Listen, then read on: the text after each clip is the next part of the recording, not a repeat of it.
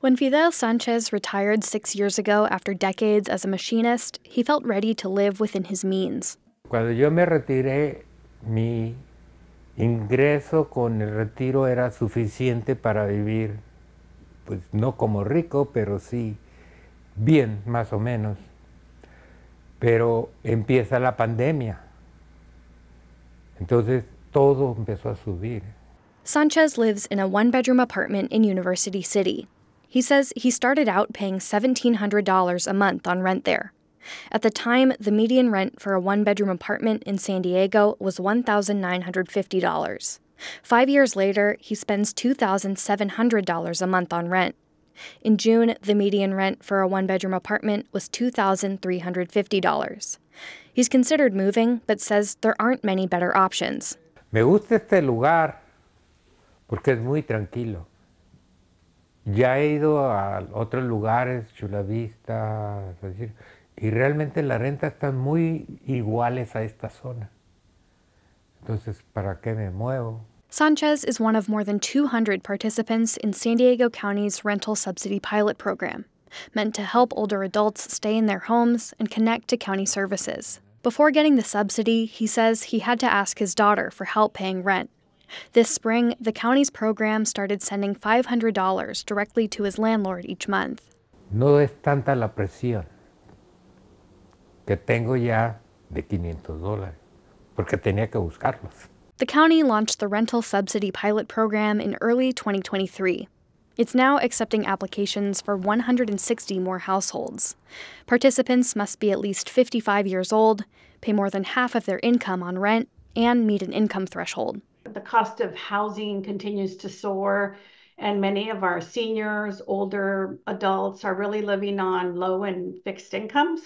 And so they're really, what we found is they're really having to choose or being forced to choose between, you know, paying rent, eating, buying medication. And, you know, the data tells us that the older adults are really, um, you know, representing the fastest growing age group of people that are experiencing homelessness in, in San Diego. Nearly half of unhoused older adults surveyed for this year's point in time count were homeless for the first time.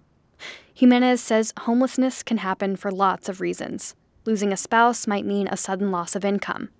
An unexpected medical event might bring a hefty bill with it. They were with partners or with spouses, um, they were working. Um, and then there's just some kind of an event or something that occurs. Researchers surveyed thousands of homeless adults across the state in 2021 and 2022. Over and over, they heard that a little bit of financial help could have kept them in their homes. Had they gotten um, three to five hundred dollars a month, had they gotten like a one-time payment of five to ten thousand dollars, or had they gotten something like a housing choice voucher which paid the difference between 30% of their income and what their rent costs, it would have stabilized things and then allowed them to not have the downward spiral.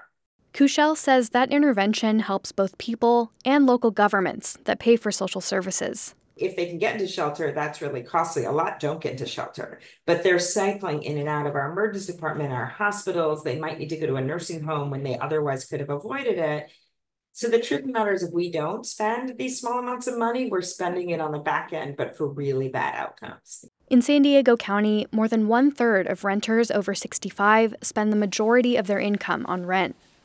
Sanchez is getting other types of assistance that help pay for food and cell phone bills. He and his wife have been on the waiting list for housing choice vouchers, also known as Section 8, for four years. Pero no la han llamado. Dicen que más o menos el Mm, el tiempo es de 8 a 10 años para que sección 8 hable. In the meantime, the subsidy program is helping him stay in his apartment. County staff will connect him and other participants with services they qualify for during the 18 month program. But he says when it ends, he's not sure what he'll do next. If you think you qualify for the county's pilot program, you can fill out an application online. More information is available on our website, kpbs.org. Katie Anastas, KPBS News.